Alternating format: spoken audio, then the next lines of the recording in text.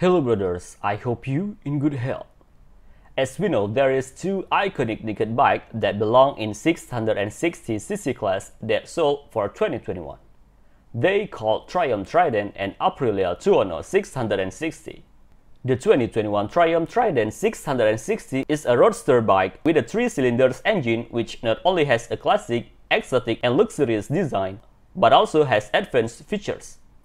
While the Tuono 660 is a naked version of the Aprilia RS 660 sport bike, which at first glance, the Tuono 660 doesn't have much differences from the RS 660.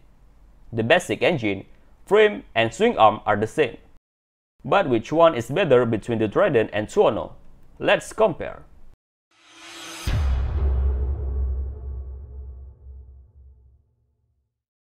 Even both bike comes with 660 in their names, but Tuono and Trident has several differences that maybe give us a good options to choose. First, the design. It depends on you. But for the fairing, unlike the other naked bike in general which only remove the fairing, the aerodynamic sector of Aprilia Tuono 660 is important. The winglet on the side of its body designed with double layers. Unlike the Tuono, the Trident is fully stripped down, which exposes the rider to the wind pressure, which also creates resistance and there is no way to divert or direct the airflow. In terms of ergonomics and aerodynamics, Trident might not be as efficient as the Tuono when it comes to comfort at higher speeds. Second, the engine. Tuono powered by a 659cc DOHC parallel twin liquid coolant engine and already passed the Euro 5 standard while Triumph Trident powered by a 660cc inline 3-cylinders DOHC liquid coolant engine, also already passed the Euro 5 standard.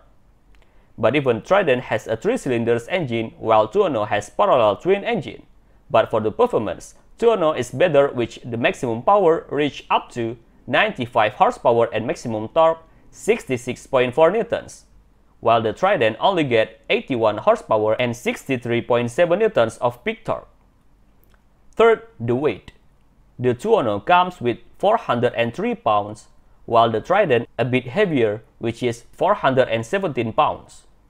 Fourth, the braking system. For the braking system, the Tuono is fit with a 320mm double disc brake complete with Brembo 4-piston calipers at the front wheel and a single 220mm disc brake with a single piston caliper at the rear.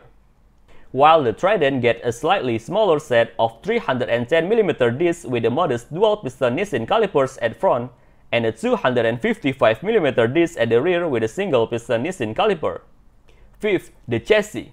The Tuono is built on aluminum twin spar frame with a detachable pillion seat that can be replaced with a cover. Suspension is provided by a 41mm Kayaba upside down fork with 4.7 inches of travel, and a spring preload and rebound damping adjustable rear monoshock. While Trident built on a tubular steel perimeter frame that mounts to a 41mm Showa upside down fork and a preload adjustable Showa monoshock. 6. The features The Tuono 660 has some features adapted from the RS 660 such as all LED lights, full-color TFT speedometer panel, and several electronic features, including traction control, wheelie control, cruise control, 5 riding modes, and ABS brakes.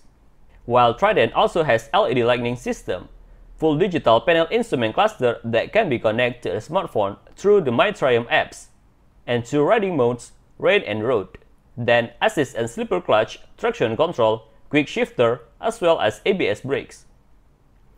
7. The price.